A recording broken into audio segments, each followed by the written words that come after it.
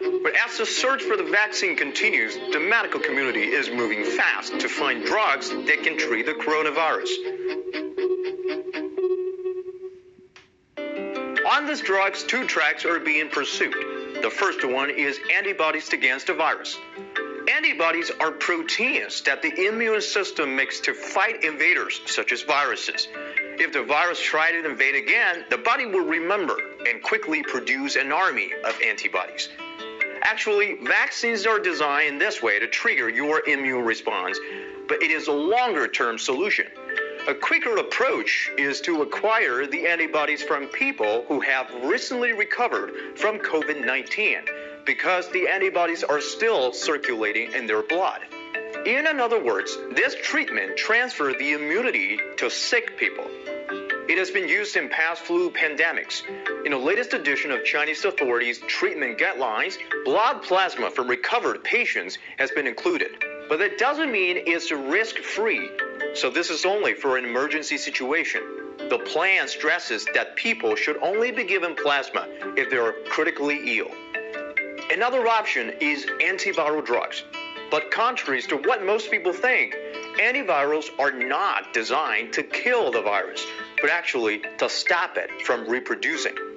Coronavirus has a simple structure with its genetic material, the RNA sitting inside and protein shell coating outside. Its outer spikes can engage the receptor on the cell surface, resulting in the merger of the virus with the cell, just like opening up a door. Then the virus can enter the cell wrapped in the vesicle, like taking a bus. And after it gets in, the bubble breaks and releases its RNA. And then two things will happen. Those RNA will hijack the cell and use the material inside to make up more viral protein shells. And it uses its own viral enzyme to copy its RNA.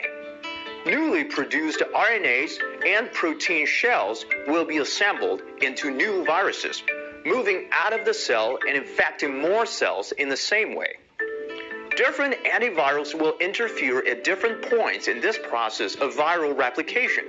For example, chloroquine is the drug that has recently been added to China's treatment guidelines. It steps in at the beginning stage of the infection. It blocks this virus's ability to acidify this bubble and causing this virus to be trapped inside and stopping it from releasing its RNA into the cell. Another drug, remdesivir, which is still under clinical trial, works in a different way. Simply speaking, when the virus wants to replicate its RNA, it needs many genetic blocks as raw materials to line them up and make up a new chain. There are four types of building blocks A, U, G, and C, and remdesivir will act as one of them. It looks like the real block A, but it's actually the fake one. It will squish itself into the entire copied RNA sequence and will replace the natural one. And cause the entire copy to fail. Just like when you insert a wrong letter and misspell the entire word. Also, in the treatment guidelines, there is a drug combination of lopinavir and ritonavir. The combination targets protease, which is the tool that viruses use to cut up very long proteins into smaller pieces of proteins that are needed for the virus to make new copies. Now, that tool is taken out. In addition to those drugs, doctors also induce interferons, proteins that human cells naturally release as an alarm to other cells that there is an infection in the body. They are not specific to a certain virus, but responds to all viruses and all stages of viral replication.